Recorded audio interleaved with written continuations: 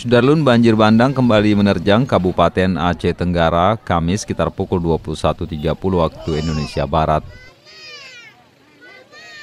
Kayu gelondongan, bebatuan, dan lumpur berserakan di jalan dan rumah warga pada Gampung Titi Pasir, Kampung Baru, dan Pasar Puntung.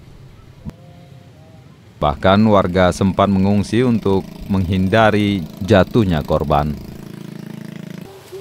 Data sementara menyebut ada belasan rumah warga rusak diterjang banjir bandang. Dan deras terus turun kayu dari atas. Rumah abang terendam. Nah, terendam. Ini contohnya kulkas. Belakang sana rusak.